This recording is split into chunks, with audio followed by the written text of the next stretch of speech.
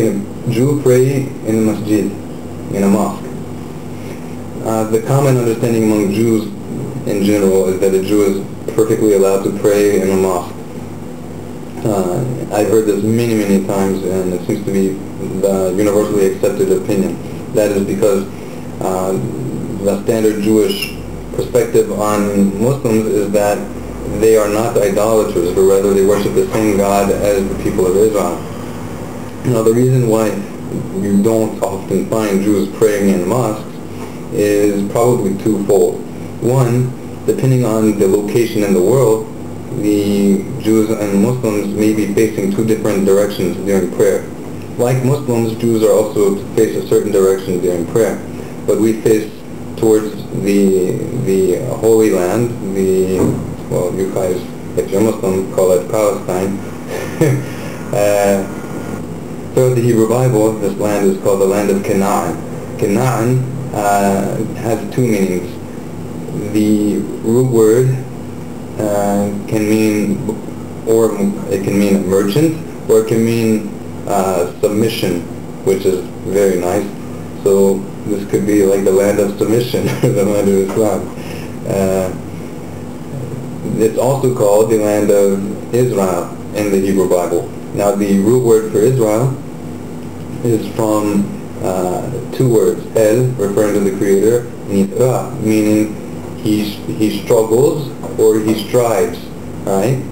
So this is related to the fact that the people of Israel are supposed to strive uh, for the sake of the Almighty, which is related to the concept of jihad. It's basically the Jewish idea of jihad, setting aside concepts of war, but like the inner struggle with the uh, fleshly inclination in order to overcome it so that we can uh, subjugate our, our natural desires to the will of the Almighty. Uh, I really got off track there.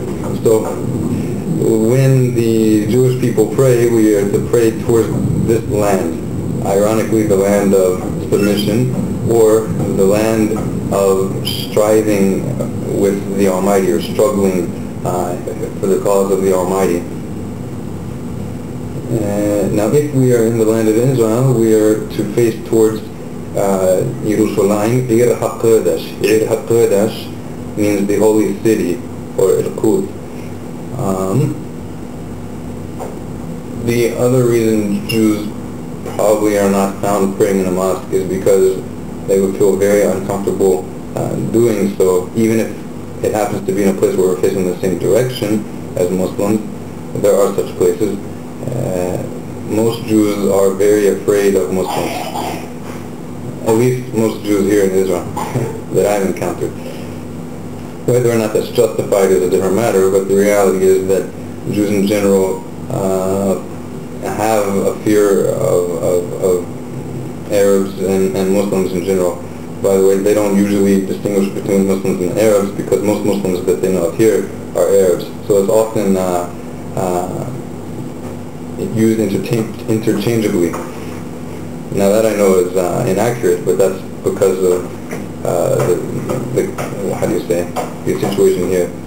Probably kind of like how uh, they consider Americans to be Christian, like just about any white person to be Christian. Obviously it's not technically true, but that's because don't forget to say your prayers before you eat, boys. I welcome you to consider Judaism. However, if you feel that Judaism is too heavy for you, then please consider the seven laws of Noah, which is the bare minimum that God requires from humanity. If you're interested in either of these, please visit your local Orthodox rabbi and ask him to teach you more. For more information about Judaism, please visit our website, bejewish.org. There you will find videos that will help you on your journey. Thank you.